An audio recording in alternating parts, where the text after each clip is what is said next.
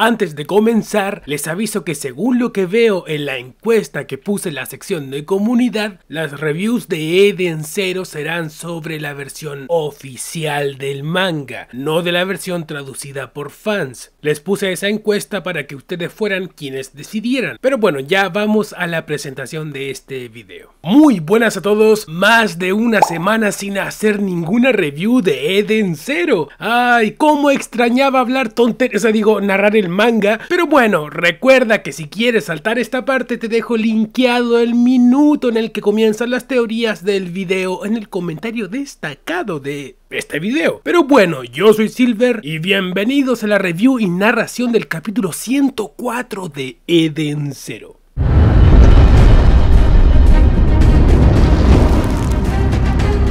El fanservice comienza con este capítulo en el baño. Y no, no lo dije mal, porque esto no es una página, esto es un fanservice, what the fuck. Pero bueno, la mina de Fairy Tail que se cambió de manga, porque bueno, ustedes ya saben, estaba disfrutando del baño y entonces lluvia. What the fuck, ahora tenemos a la mina de Fairy Tail y a lluvia en un panel de Eden Zero. ¿Acaso me confundí de manga? ¿Acaso tantos días sin hacer una review de Eden Zero provocó que descargara un de Fairy Tail. Pero bueno, Rebeca dijo que esta pelirroja les exigió entrar al baño apenas entró en la nave. Se pregunta qué hace ahí, respuesta que obviamente Mashima conoce. Pero bueno, la mina de Fairy Tail como está agradecida con Mashima por dejarla cambiar de manga, le responde a Rebeca que están ahí para conocerse mejor, ya que sí, verse en pelotas es la mejor forma de construir una amistad. Supongo que se refiere a que literalmente si están desnudas pueden conocer todos los ángulos de la otra persona? ¿Y alguien me puede decir si hay algún fallo en su lógica? Porque yo después de cuatro horas de analizar este diálogo no encuentro ninguno, what. Pero bueno, volviendo al manga, la mina de Fairy Tail hace mención a la incorporación de otra fanservice al equipo. Entonces Homura, la mejor personaje femenino de este manga, como buena fanservice, se levanta y le dice a la mina de Fairy Tail que como es una guerrera, se vio todos los episodios de Fairy Tail y que quedó loca después de ver cómo la mina de Fairy Tail se hackeaba al Pandemonium y bueno, le pide que tengan un duelo. Duelo que de momento parece que se trata de quién tiene las boobies más grandes, what the fuck. En fin, como la mina de Fairy Tail es buena gente, le dijo que bueno, que está lista y que comience cuando quiera. Komura se queda quieta sacando su espada y la mina de Fairy Tail le pregunta por qué no ataca. A lo que Homura, como es una fanservice con principios, le pregunta si acaso no se va a poner en guardia, a lo que la mina de Fairy Tail le responde que nada, no es necesario si de todas formas esto es un fan, o sea, digo, es un duelo. Así que Homura, como ya se cansó de sus principios, la atacó y si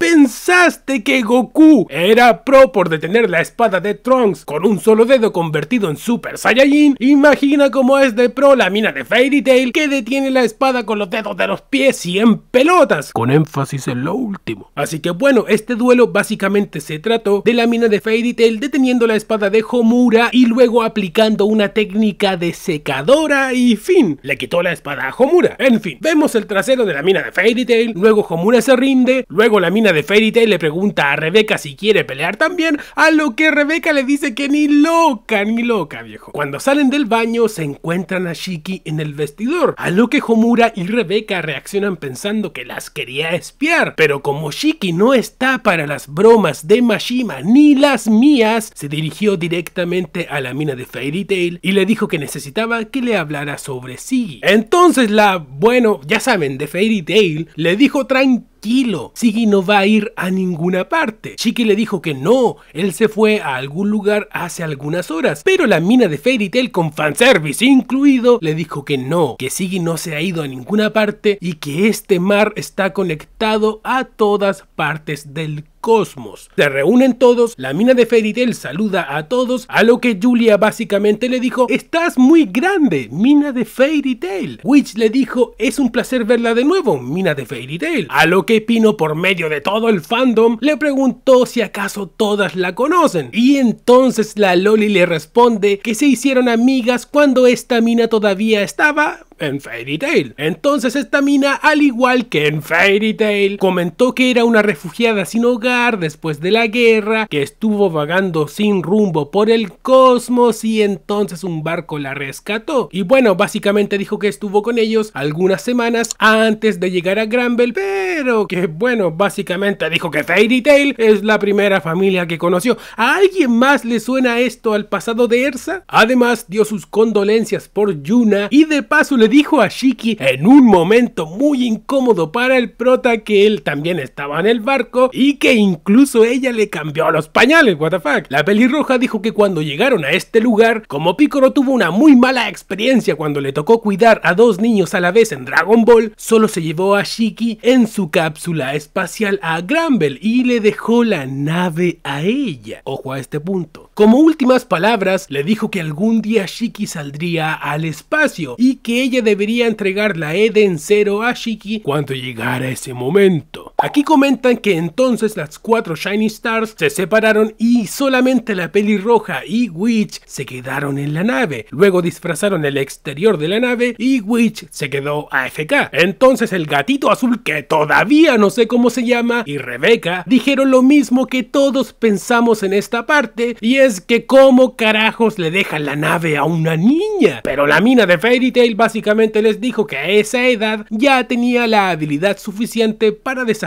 a Valkyria. Así que bueno, para adornar esto y que Siggy no parezca más hijo de p Kermit dice que ese pícoro vio que ella tenía un corazón fuerte. Sí, sí, todo ese cuento. Aunque bueno, tan fuerte que parece que se le va a salir del pecho. Y bueno, básicamente dicen que aquí comienza la leyenda de la mina que se cambió de manga y que a pesar de que era hábil para pelear, era un desastre a la hora de navegar una máquina. Así que al final se quedó sin provisiones y comenzó a robar lo que es obvio, dejaron a una niña sola en una nave. Y sí, digo dejaron porque eso incluye a las cuatro Shining Stars. Ay, Dios mío, me va a dar algo, me va a dar algo. Pero bueno, con el tiempo le empezaron a llamar pirata y después de 10 años se reencontró con Shiki. Entonces, como Wise es el crack de este manga y no se le va ni una, les dijo, mmm, hay algo raro en esta historia. Y les pregunta sobre la cápsula espacial en la que Shiki y Picoro fueron a Granville, ya que si tenían una cápsula para salir al espacio, entonces no era necesaria toda esa farsa de los robots para que Shiki saliera de Granville. Witch le dice que la teoría que tiene es que Siggy construyó a Pino en Granville y que luego ella tomó la cápsula espacial y salió de ese planeta. Pero como tiene la memoria dañada, no pueden saberlo. Sin embargo, Rebecca dijo que seguramente ahí fue a Norma y conoció al viejo Wise, él la arregló y todo eso, cosa que ojo voy a comentar en las conclusiones de este video. Es muy importante. La pelirroja dijo que luego de darle la Eden 0 a Shiki, ella fue a Granville para ver la tumba de Picoro y decirle que cumplió su promesa, pero cuando lo vio pudo sentir rastros de éter en su cuerpo y que no era el éter de Siggy, sino que era un éter maligno. Pero como esta pelirroja es más viva que Siggy, usó un pequeño dron, sí, otro reciclaje de Mashima, y monitoreó en secreto el cadáver de Siggy. Y así es como pudo aparecer rápidamente al ver que Siggy se estaba a punto de rajar a Shiki. Y bueno, la mina de Fairy Tail dijo que no sabía que lo cambió, pero que definitivamente este no es el viejo Siggy. Además, la pelirroja dijo que su dron escuchó que Siggy dijo que iría a ver a madre apenas despertó. Luego de dejar a todos conmocionados, la mina de Fairy Tail se va y Shiki recuerda lo último que le dijo. La pelirroja decidió ir tras Picoro ya que como ella le debe la vida, detenerlo es lo mínimo que puede hacer por él. Así que básicamente le dijo a Shiki que si él está listo para patear el trasero de Picoro, tiene que ir con ella al espacio exterior. Entonces Shiki les dice a todos que irán tras Picoro, ya que si está tramando algo malo, él será quien lo detenga. Sin embargo, Shiki dice que a pesar de eso, el verdadero objetivo de la Eden Zero es encontrar a Madre, y que su deseo será pedirle que restablezca Granbel a como estaba antes. Entonces grita que irán a encontrar a Madre y que si se encuentran a Picoro en el camino, le van a patear las nalgas de metal que tiene. Así que con todos de acuerdo y la Y Led escuchando, ven las Dragonfall como su primer obstáculo para salir del cosmos Sakura y aquí termina el capítulo. Conclusiones, teorías y todo lo demás. Capítulo lleno de información, pero bueno, vamos a lo primero. Como era de esperarse, la mina de Fairy Tail estaba muy rota. Ahora, ¿es para sorprenderse? Personalmente creo que Draken Joe también es capaz de hacer algo similar frente a Homura. Sobre lo de Pino me entra una duda. ¿Para qué Sigi construyó a Pino y luego la dejó ir al espacio exterior? Es decir, si ella quería que le ayudara a Shiki, ¿no era mejor que se criara con Shiki en Granbel? Sobre la cápsula de Pino, imagino que el viejo Wise usó esa cápsula cápsula para escapar de Norma. Ahora bien, ese pícoro y las cuatro fanservice, qué desastre, viejo, qué desastre. Claro, por un lado, suena muy pro que él si se quedara a cargo de la nave a esa edad, pero por otra parte son un montón de hijos de... ¿Por qué ese pícoro hijo de